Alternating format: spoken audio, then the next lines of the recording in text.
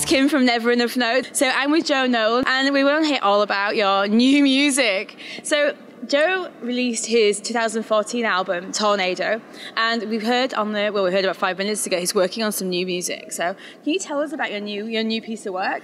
Sure. Um, I'm I write so many songs, so I always get in trouble for not playing old songs off the Oh, latest record. Um, but uh, yeah, I'm in the process of doing some demos and, and planning out a new a new album um, with uh, sort of a, a new approach and sound, and Oh, I'm really? really How- like excited about it. Yeah.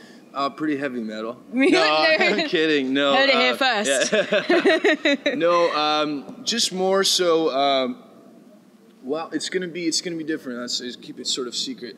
And That's uh, fine. yeah, yeah, it's gonna be good. Okay. How, how far along are you? Write, still writing, or are you? you know, I'm still writing. Yeah. Yeah, I'm still writing lots. Um, but I have I think I have enough songs for a, for a full new album already. But I Oh, want to really? Mm-hmm. keep want to keep uh, writing and get some good ones. Never stop. Yeah. Have you got like a release schedule? Like Not quite yet. Not quite yet. not quite Yeah, yet. We'll, yeah. hear, we'll Yes. hear more from you Yeah, about that very soon. totally. So like your live show is really it's really emotional. It's raw. It's really gritty. I mean, it's all like drawly folk. If you've never seen Joe before, I, seriously, just do it. Um, how do you? A live show is really important to you to get that emotion across. How do you translate that to? How are you going to translate that to your new album?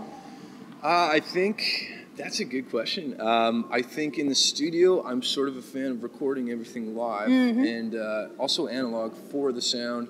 Um, uh, my past albums have been on two inch tape, and uh, I think you get a real mood that way. So I'd like to keep recording that way. But honestly, I think doing everything live and keeping it as honest and real as possible Yeah. in the studio to, to help that come through because sometimes it's harder for that, you know, that grit, like you Mm. said, to come through in a, in a in a listening on a CD or album, than uh, you know, compared to a live show. Yeah, yeah, So, yeah.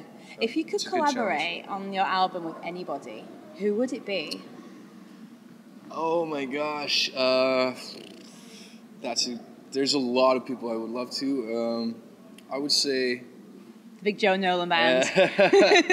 I, w- I would love to work with uh, if with anybody. With anybody. I would say Tom Waits would be a guy that I would love to uh, collaborate with. Yeah. That's awesome. I mean, like, how you said you've been a musician, like, oh, you've always been a musician, like, since since when? How long have you been playing music? yeah. Um, as far as I can remember, I started playing guitar around 13 or 14, Okay.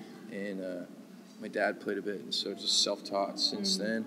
And uh, I've been doing this since since I got my driver's license. I've started Yeah. doing open mics and been doing this as my full-time job Really? since then. And What's your favorite uh, guitar to play?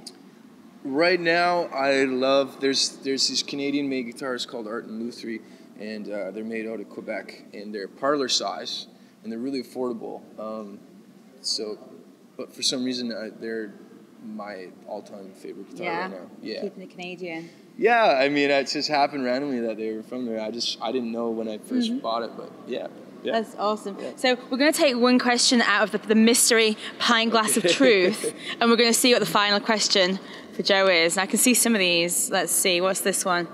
What's your favorite new album this year? Ooh, that's a good one. Uh, oh my gosh. Um,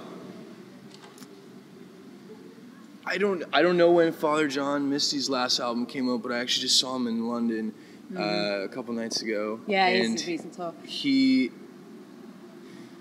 that well, the first time I heard that was probably the best thing I've heard in a long time Really? in terms of mainstream stuff. But I'm trying to think of more. That's a good one. No. Um, Do you find him as like an inspiration at all? he he blows my mind. Yeah. Yeah. Yeah, Awesome. Joe, cool. it's been really, really nice to meet you. Thank you, You for taking well. the time to chat to Okay. us. I've been Kim from Never Enough Notes. We'll see you soon.